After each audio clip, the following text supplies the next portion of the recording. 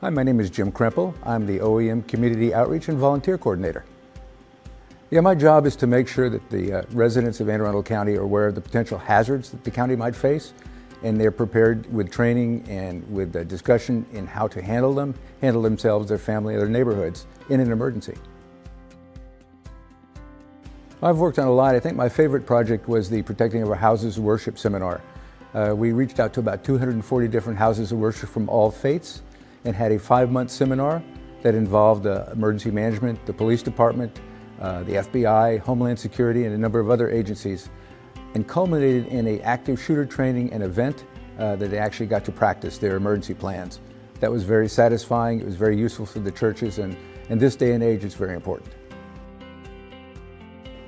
Well, you can come into emergency management from almost any field. I came in from the military.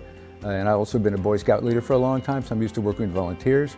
But I think uh, the real basic that everyone has in this job is they have to understand and be able to work with people and get satisfaction from seeing smiles on their faces when you get them information that's useful and may even save a life.